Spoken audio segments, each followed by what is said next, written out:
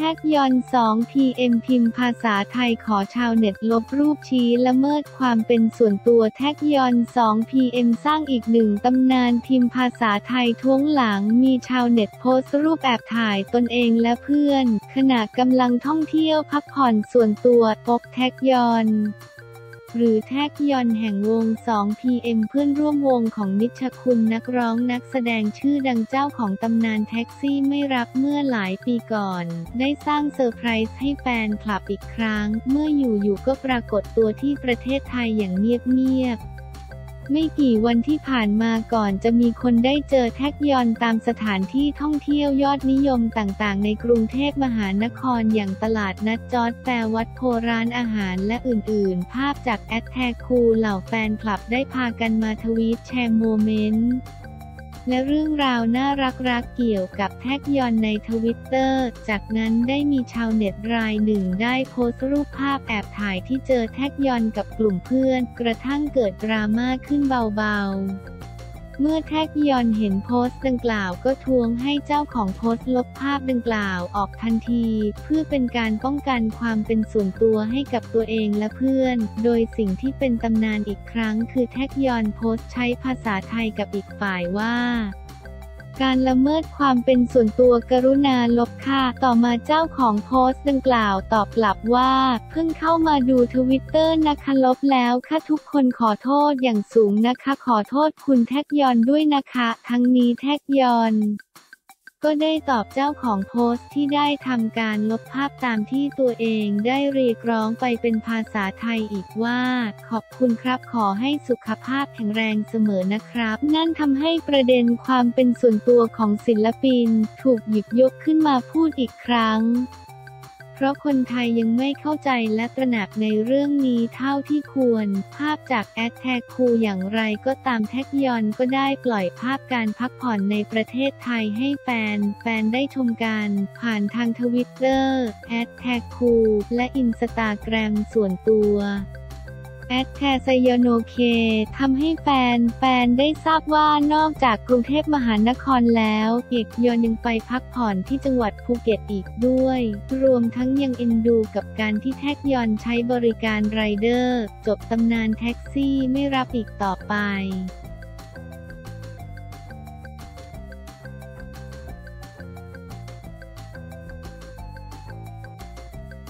ค่ายเพลงโต้อิงฟ้าปมฟ้อง 1,200 ล้านเตรียมดำเนินคดีคนให้ข้อมูลเท็จทำเสียชื่อเสียงจากประเด็นที่มีข่าวว่าอิงฟ้าวราหะมิสแกรนไทยแลนด์ 2022 ถูกอดีตต้นสังกัดค่ายเพลงแสงระวี ฟ้องร้องเรียกค่าเสียหายทำผิดสัญญาจำนวนเงินสูงถึง 1,200 ล้านบาททำเอาหลายคนถึงกับตะลึงในตัวเลขที่ทางเจ้าของค่ายเรียกร้องว่ามันมากเกินไปหรือเปล่าทางเพจ Facebook สังราวีเอ ได้โพสต์จดหมายชี้แจงว่าแถลงการณ์ข้อเท็จจริงการฟ้องร้องเรียกค่าเสียหายสัญญาศิลปินในสังกัดระหว่างบริษัทแสงระวีเอนเตอร์เทนเมนต์จำกัดกับนางสาวอิงฟ้าวราหะมุก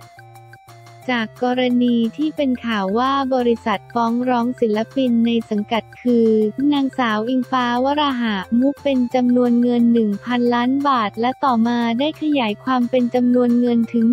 1,200 ล้านบาท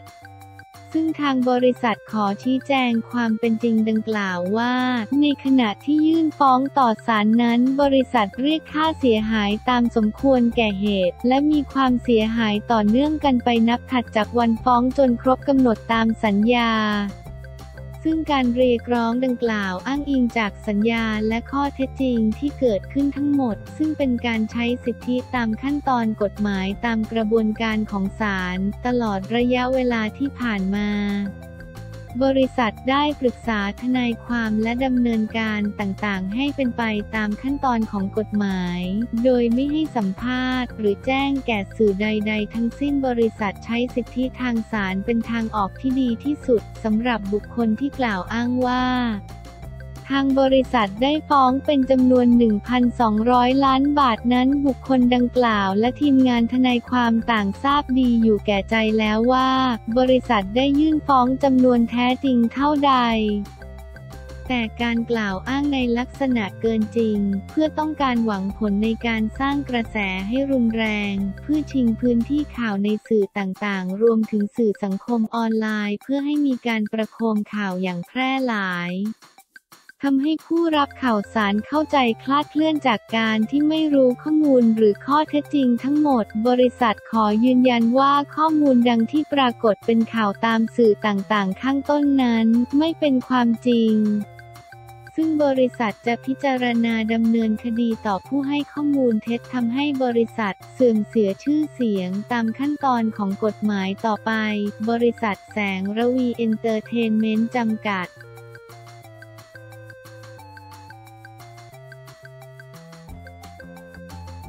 ราชภัฏดังแจงแล้วปมสิบตำรวจโทหญิงโหดซื้อวุฒิตรีเผยเคยศึกษาปี 61 ราชพัฒดังเมืองราชบุรีแจงแล้วกรณีสิบตำรวจโทหญิงจ่าย 50,000 บาท ซื้อวุฒิตรีเผยเคยศึกษาจริงเมื่อปี 2561 ต่อปมภาพชุดนักศึกษาวันที่ 1 กันยายน 2565 ที่ห้องประชุมทรัพพิรีชั้น 3 ตึกอำนวยการมหาวิทยาลัยราชภัฏหมู่บ้านจอมบึง อำเภอจอมบึง จังหวัดราชบุรี ผู้ช่วยศาสตราจารย์อัธพลอุสายพันธ์รองอธิการบดี ฝ่ายวิชาการมหาวิทยาลัยราชภัฏหมู่บ้านจอมบึง และด็อกเตอร์อดิศักดิ์แสงส่องฟ้า ผู้อำนวยการสำนักวิทยาบริการและเทคโนโลยีสารสนเทศ เปิดเผยถึงกรณีสิบตำรวจโทหญิงที่มีข่าวเผยแพร่อยู่ในสื่อมวลชนขณะนี้ ว่าทางมหาวิทยาลัยราชพัฒหมู่บ้านจอมบึงขอให้ข้อมูล โดยทางอธิการบดีมหาวิทยาลัยราชพัฒหมู่บ้านจอมบึงได้มอบหมายให้มาเป็นผู้ให้ข้อมูลวันนี้ ข้อมูลเบื้องต้นคือสิบตำรวจโทหญิงได้สมัครเข้าเรียนในปีภาคเรียนที่1ทับ2560 สาขารัฐประศาสนศาสตร์ ภาคพิเศษ เรียนวันเสาร์อาทิตย์มีผลการเรียนในภาคเรียนที่2ทับ2560 ทั้งสองภาคเรียนมีผลการเรียนและได้ลงทะเบียนภาคเรียนที่3ทับ2560 ไม่มีมาเรียนไม่มีผลการเรียนต่อมาสิบตำรวจโทหญิงท่านนี้ได้สมัครเรียนใหม่ที่1ทับ2561 สาขาวิชานิติศาสตร์ ภาคพิเศษเรียนวันเสาร์อาทิตย์ แต่ไม่ได้มาเรียนจึงไม่มีผลการเรียนราชพัฒดังเมืองราชบุรีแจงแล้วกรณีสิบตำรวจโทหญิงจ่าย 50,000 บาท ซื้อวุฒิปรีเผยเคยศึกษาจริงเมื่อปี 2561 โดยระเบียบของมหาวิทยาลัยราชพัฒหมู่บ้านจอมบึง คือสิบตำรวจโทหญิงคนนี้ได้พ้นสภาพการเป็นนักศึกษาของมหาวิทยาลัยราชพัฒหมู่บ้านจอมบึง แล้วตั้งแต่ปีการศึกษา 2561 โดยสรุปคือสิบตำรวจโทหญิงไม่ได้เป็นนักศึกษาของมหาวิทยาลัยราชพัฒหมู่บ้านจอมบึง ตั้งแต่ปี 2561 เป็นข้อมูลเบื้องต้นอ่านข่าว งามไส้ ทหารหญิงแฉซ้ำตำรวจอ้างเมียดวอจ่ายห้าหมื่นซื้อวุฒิปริโตแฟนหนุ่มจากข้อมูลทราบว่าเขาใช้วุฒิการศึกษาระดับมปลายเข้ามาสมัครเรียนที่มหาวิทยาลัย โดยจะต้องเข้าเรียนให้ครบ 4 ปี แต่เขาเรียนสาขารัฐประศาสนศาสตร์ เทอม 1 ปี 2560 และเทอม 2 ปี 2560 เรียนได้แค่ 2 เทอมอีกปีหนึ่งได้มาสมัครเรียนใหม่ เทอมเศษ1ส่วน 2561 สาขานิติศาสตร์ มีลงทะเบียนแต่ไม่ได้มาเรียนและไม่มีผลการเรียนถ้านักศึกษาไม่มารักษาสถานภาพ 2 ภาคเรียนติดต่อกันและนักศึกษาท่านนี้ก็จะพ้นสภาพถือว่าพ้นสภาพจากการเป็นนักศึกษาของมหาวิทยาลัยตั้งแต่ปี 2561 และจะพ้นการสภาพเป็นนักศึกษาไปแล้ว ตามข้อบังคับมหาวิทยาลัยราชพัฒหมู่บ้านจอมบึง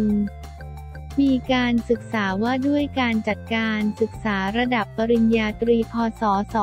2553 ข้อ 26 สถานภาพนักศึกษาจะสิ้นสุดลงโดย 5. ขาดการรักษาสภาพนักศึกษาติดต่อเป็นเวลา2ภาคเรียนจากผลการเรียนที่ผ่านมาของสิบตำรวจโทหญิงท่านนี้ในเทอมที่ หนึ่งบางวิชาก็สอบผ่านบางวิชาติดไม่ผ่านส่วนภาคเรียนที่3ทับ2561 ทุกวิชาเขาไม่ได้มาเรียนหลังจากปี 2561 ก็ไม่ได้สมัครใหม่ ส่วนกรณีที่มีการกล่าวอ้างว่ามีการใช้เงินซื้อผลการเรียนทางมหาวิทยาลัย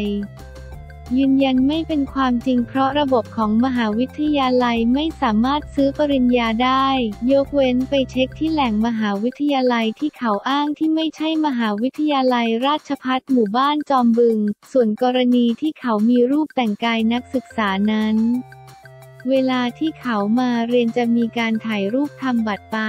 บางวิชาจะนำไปใช้ในการเรียนการสอน ส่วนรูปนี้ก็เป็นลักษณะทั่วไปของนักศึกษา เวลาที่มาเรียนจะมีชุดนักศึกษา และการเรียนนั้นก็ไม่มีการเซ็นชื่อมาเรียนแทนกันได้